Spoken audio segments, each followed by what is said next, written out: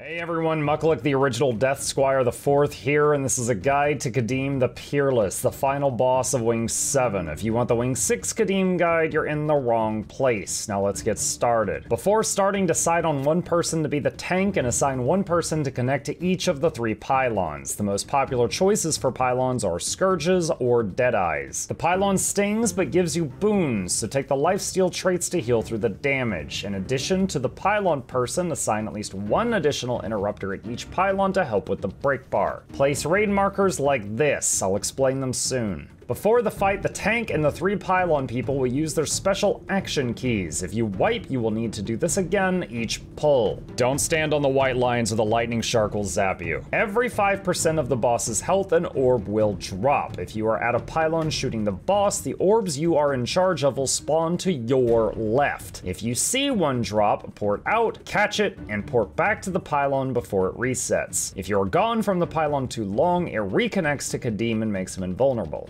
Start the fight by interrupting all the pylons and having the pylon players connect with them, then run in. He opens with a knockback, so dodge it. Tank, start at the north pylon with that person. After interrupting it, run in and grab the boss and turn him a little to the side so that his attacks that go through you don't hit the pylon player behind you. Whenever he does the magic carpet attack, move to the opposite side and just move back and forth. Never point it directly at the pylon player player. After 90%, the boss will gain a new skill. He will choose a target and strike them with lightning three times. Red circle, bigger red circle, bigger ist red circle. Red circles are bad. Run them away from the raid and avoid the damage as best as you can, then return. At 80% health, everyone will be raised up and then drop a fire patch. Go to these markers and place your patches here. Then you will need to interrupt the pylons again. Boss will knock back again. Boss will sometimes get a break break bar. Interrupt it. After 75% health, ads will periodically spawn and walk towards a pylon to steal it from you. If you put the fires where I told you to, they will walk into the fires and take massive damage. All you need to do is have someone interrupt the ad's break bar to stun it while it's in the fire and it will die. At 60%, the fire thing happens again. Drop the patches at these four icons for this one. Interrupt the pylons, Qadim knockbacks again. After 60%, 100% health, the boss periodically fires a beam in a straight line towards a player three times. You can spacebar jump or dodge it. Watch when he brings his arms down to help you time it. At 40%, he will charge to the north pylon. Don't be in his path. Dodge stability or Aegis the shockwave. After he destroys it, get out of the middle before his dome respawns. Interrupt the two remaining pylons, get back on the boss. Same mechanics continue, but he does more damage. At 30%, he will charge the southwest pylon. Don't be in his path, dodge stability or Aegis the shockwave. After he destroys it, get out of the middle before his dome respawns, interrupt the remaining pylon and get back on the boss. At 20%, he will charge to the southeast pylon. Don't be in his path, dodge stability or Aegis the shockwave, but after the shockwave, get out of the middle until he teleports back there. Make sure the tank runs back in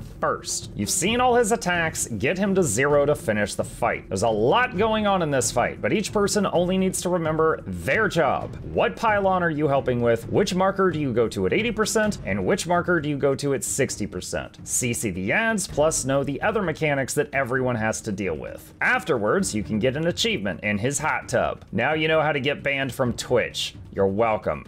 Click these links. Especially that one, our website of guides is live.